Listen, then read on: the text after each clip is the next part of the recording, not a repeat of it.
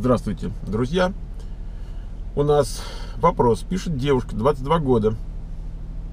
Она учится на таможенника, как она говорит. И я, честно говоря, даже не знаю, что это за образование такое. Это может быть юридический факультет, и там как-то с таможенным хозяйством. Я, я не знаю, честно. Эм, ну вот, вот такая у нее профессия. И она говорит, я хотела бы эмигрировать в Соединенные Штаты, и я понимаю, что моя профессия тут особо не пригодится. Хотя, в принципе, в США есть таможенники, там, наверное, тоже, ну, то есть наверняка есть. Но вот как-то она так рассматривает, что у нее профессии толком нет. Э, в этом письме, которое там было, не указано, как, собственно, она собирается приехать. То есть, либо она приедет, будет потом легализовываться, там, не знаю, через брак, через политику, там еще что-то. Эм, либо она рассчитывает выиграть грин-карт лотерею. Сейчас очень много вопросов от людей, которые заявку заполнили на участие в грин-карт лотерее. И у них уже ощущение, что вот, ну, надо теперь готовиться, вот скоро же выигрыш, уже там через полгода надо готовиться. Как мы будем там жить? Значит, и вот я поэтому буду два варианта рассматривать. Значит, а вопрос такой, э, ну вот, чем может заниматься там человек, молодая девушка, которой толком нет профессии, вот как ей жить? Где она могла бы работать? Значит, э, тут еще от уровня английского, конечно, зависит, но будем считать, что английский у нее в порядке. На таком уровне, что работать она может. Там на, на каких-то работах не, не безумно требующих э, знания языка. Так вот, Первый вариант, она приехала, ей надо легализоваться, и какое-то время девушка работает, ну, где придется, поскольку ей выживать надо. Э, что на самом деле не так плохо, потому что работая где придется, она и язык английский подхватит очень хорошо, допустим, в ресторане, э, в гостинице. В ресторане больше подхватит язык, чем в гостинице как-то немножко встанет на ноги, там какой-то круг знакомых заведется. То есть э, человек пройдет некоторую социальную адаптацию. А через там полгодика, через 7-8 месяцев появится разрешение на работу, и мы тогда переходим ко второму варианту. Значит, чем может заниматься там человек без профессии? На самом деле, дело же не в том, что она учится на таможенника, а, дело в том, что вот как бы ситуация более общая. У нее есть некая профессия, которая не востребована. Вот как быть человеку в 22 года, у которого нет четко такой заявленной востребованной профессии. Вот как ему быть? Поэтому с учетом юного возраста, то есть вся жизнь впереди, мы имеем два аспекта в этом во всем. Значит, первый аспект, надо как-то выживать. И в этом смысле вопрос, чем заниматься, это вопрос, как выживать. И надо сказать, что вот сегодня, например, да, такая экономика вроде хорошая и как бы сигналы есть такие, что она и дальше будет хорошая, то есть зарплаты будут расти. Вот видите, сейчас пытаются э, поднять интерес рейт, говорят, что вот в декабре все-таки поднимут, э, чтобы не дать экономике убежать в инфляцию, то есть как бы все заняты, все работают, ну, кто хочет есть официальная безработица, там 5%, но вот говорят, что нанимать некого. То есть как бы безработица-то есть, а нанять некого. Поэтому ожидается рост заработной платы, и уже есть там некоторые сигналы по этой части. Уже в некоторых индустриях там замечено, что зарплаты растут. Поэтому хорошая новость как бы, состоит в том, что какой-нибудь работы просто на выживание сколько хочешь. Значит, где работает э, молодежь, там мальчики, девочки? Ну, если мальчики, может быть, у них есть еще возможность на стройку пойти или там куда-нибудь в охрану.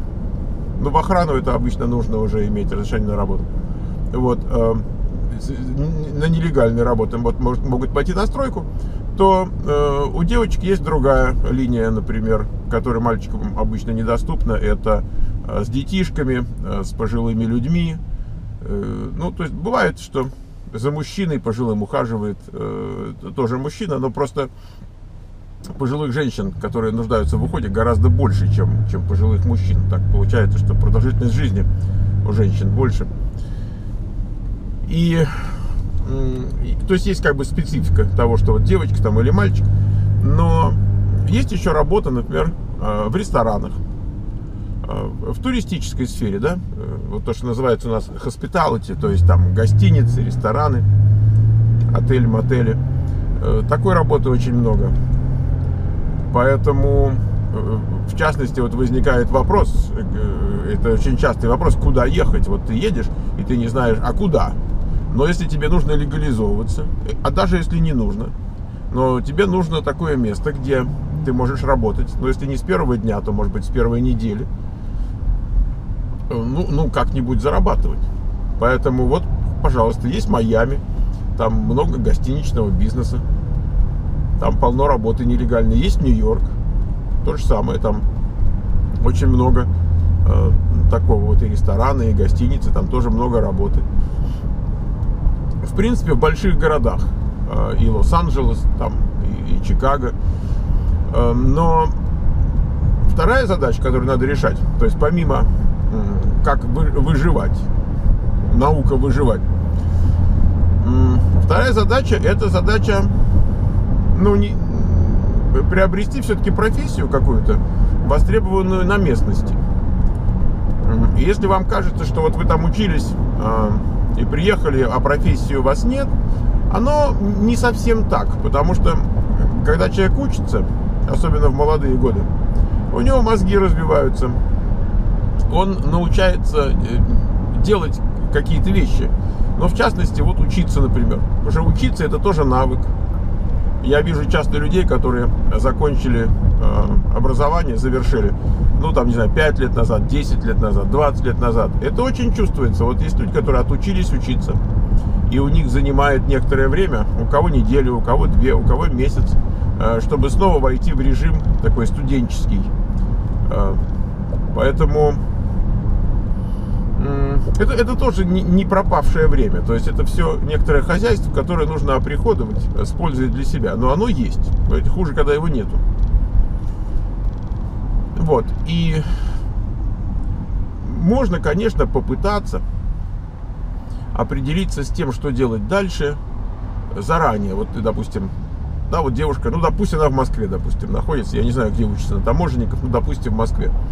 И она думает, как я буду жить в Америке? Ну, хорошо, я приеду, первое время буду официанткой, э, а потом что? А вот на кого учиться? И вот начинается перебор профессий. Там, э, а вот есть юристы. В принципе, она могла бы на юриста поучиться, если бы материально ей было это доступно. То есть и за учебу платить, и самое главное, что надо как-то себя содержать в это время, материально поддерживать. Ну, допустим, можно учиться на юриста, а можно на врача, а можно на инженера какого-нибудь, а можно еще на, на что-то, а можно вот, допустим,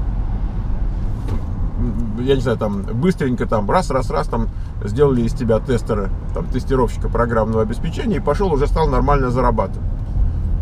Поэтому это, это то место, которое наша школа занимает вот во всей этой структуре, да. То есть это когда нужно жить, нужно нормально зарабатывать, но сегодня. Ну, там, в, в короткосрочной перспективе, понимаете. То есть можно пойти учиться на доктора. Ну, сколько лет это займет и, и, и получится ли вообще и так далее. А здесь вроде быстро. Но даже если человек пришел, там быстро-быстро поучился, стал там тем же тестировщиком, а образование у него по таможенному делу то все равно задача получения высшего образования, если она уже хочет остаться в этой профессии, задача получения высшего образования по профессии никуда не уходит при этом. Она достигается в более комфортных условиях. Это правда. То есть одно дело, когда ты получаешь там нормальные деньги и учишься, ну сколько там займет пара-тройку лет, это одно. Вот. А совсем другое дело, когда ты работаешь за 10-12 долларов в час и еще учишься это совсем другое дело. Поэтому, значит, образование все равно, все равно надо какое-то получать в той сфере, которую вы для себя выберете. Если эта сфера требует образования, конечно, если там человек выучился на, я не знаю, водопроводчика, то ему и не надо никакого высшего образования. Вот он там работает себе, работает, там, дай бог здоровья. Эм, но в 22 года, с учетом того, что девушка уже учится в университете. то есть она как бы имеет склонность к, к работе, требующей высшего образования, значит, я думаю, что все-таки э, ей, наверное, захочется. Вот. Тем более тут девчонки э, такие карьерно ориентированные, очень много таких, что они даже там на мальчиков не смотрят, то там, э, там а как же замуж? Говорят, ну лет 30 там замуж, понимаете? А в 22 она там даже и, и думать об этом не хочет. То есть очень много таких девчонок сейчас. Вот. Поэтому мы не можем сказать человеку, а ты не думай вообще о том, что будет через 10 лет или там через 20, ты вот думай о том, что будет в ближайшие 3 месяца. То есть так можно сказать, и в этом есть смысл. Но э, даже когда ты думаешь про 3 месяца или 6 или год, неплохо понимать, как этот год э, вписывается, допустим, в пятилетний план, в десятилетний план, в двадцатилетний план, при том, что планы меняются. И уже чем более такой дальнобойный план, тем больше шансов, что он поменяется.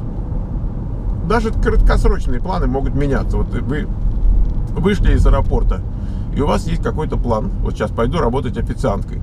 А э, дальше вот пока вы там из аэропорта добирались до места, где вы собираетесь жить, с кем-то поговорили, у вас изменился план. Или вам говорят, слушай, а нам срочно человек нужен, давай вот завтра выходи, например. Это бывает тоже. Поэтому лучше иметь план, чем не иметь. Но если план есть, то, конечно, очень хорошо оставаться открытым к каким-то другим возможностям. И очень важно понимать, что какой бы ни был твой план, он совершенно не обязательно реализуется. Может быть, будут даже гораздо лучшие возможности. И надо быть открытым к этому делу. Вообще 22 года такой замечательный возраст, я думаю, боже, когда можно абсолютно все, когда практически нет никаких ограничений. Вот хочешь быть врачом, будь врачом хочешь быть там каким-то высокого уровня там экзекутив, там будь экзекутив. Вот все твое. Эм, оно не, не дается тебе по факту возраста, оно дается тебе по э, результату труда, который ты вложил, и таланта, которым тебя Господь наградил, с которым тебя в жизнь отправил. Но вот это сочетание, например, таланта и труда, а иногда даже очень, самые средние, самые заурядные э, таланты, но подкрепленные хорошим, целенаправленным таким усилием эффектным, дают просто сказочные результаты. Не нужно быть гением, не нужно быть умнее всех вокруг. Или там, скажем, не нужно быть там в 3% или в 5%. Совершенно это, это ну не то, что лишнее, конечно, но не обязательно. То есть вот масса людей прекрасно живут просто потому, что они трудолюбивые, честные, ответственные, дисциплинированные с другими людьми хорошо умеют ладить. Вот, собственно, и все. И пахать, пахать и пахать. Э, то есть люди, которым пахать не, не хочется, или, скажем так, это не их, э, у них проблемы с эмиграцией. У них и дома, наверное, проблемы. Я не знаю, может быть, дома, если только там родственные связи какие-то, его там по кумовству где-то держат, деньги платят, он может ничего не делать. Это бывает. Но а так, в принципе, если ты хочешь сам чего-то добиваться, надо пахать. Я, я думаю, что в абсолютно любой культуре, значит, пахарь э, имеет некоторые преимущества. Вот. А здесь как бы то ли не хватает людей, которые пашут, я даже не знаю. Ну, наверное, наверное, не хватает. Я вижу, что все труженики, они все очень хорошо э, и живут, и пробиваются, и настроение у них хорошее, и люди вокруг них симпатичные.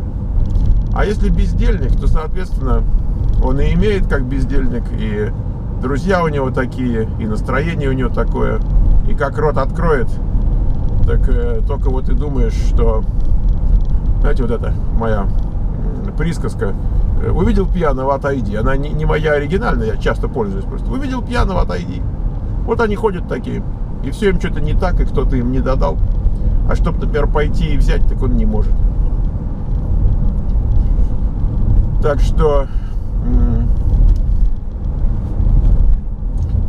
это массово все, ребята. Труженики массово встречаются. И бездельники это тоже массовая категория. И люди, которые не знают, чего хотят, это тоже очень массово. И люди, которые хотят или типа знают, что хотят. ну, менее, но тоже массовые, при том, что то, что они знают, что хотят, э, может оказаться совсем не тем, что они хотят, но, во всяком случае, они куда-то рвутся, стремятся, что-то делают, и это гораздо важнее, чем двигаться к правильной цели, поскольку правильной они еще сформулировать не готовы. Но есть люди, которые не готовы и ничего не делают вообще. А есть люди, которые не готовы, но они думают, что готовы, и они что-то делают, и тогда они растут над собой, они становятся лучше, сильнее, эффективнее, э, адапти, адаптирование и так далее. Вот, вот это путь, то есть через действие. Вот все, что я могу сказать девушке. И так, солнышко сзади нормально все. Я боюсь, чтобы в камеру не попадал. Все, что я девушке хотел сказать. И давайте я, может быть, камеру тогда поверну на себя. Вообще, мне как бы так, в естественном таком э, плане, хочется пожелать э, девушке, чтобы все у нее было хорошо. И не только девушке, э, конкретно этой, но вообще ребятам молодым, которые к чему-то стремятся, которые цели перед собой ставят. Хорошие, добрые, позитивные цели, созидательные цели. Не разрушительные, не какие-то такие плохие цели. Есть масса народа, которые ужас один. Вот. А вот которые светлые, э, хочется им сказать, чтобы старались, чтобы мечтали, чтобы работали, э, чтобы верили э, в себя, чтобы верили в то, что мир хороший. Мир хороший для тех, кто сам хороший. Вот люди, которые сами э, позитивные, созидательные, и мир вокруг них совершенно другой, чем, допустим, вокруг людей, которые не позитивные и не созидательные или какие-то они никакие, или не такие, или там еще что-то. Поэтому молодость это колоссальный капитал, который можно либо инвестировать хорошо, либо профукать. И что ж тут скажешь? Э, самое главное, что, понимаете, книга жизни, даже если там прописано, что с вами дальше будет, она нам не дана для прочтения, понимаете? Проблем какая. Поэтому нет, э, нет рецепта, нет эм, алгоритма такого, понимаете, по которому идешь и все нормально. Но есть общие принципы. Вот, э, допустим, вы не знаете, там по дороге будет булыжник, асфальт, бетонка или там э, кирпичом замостят.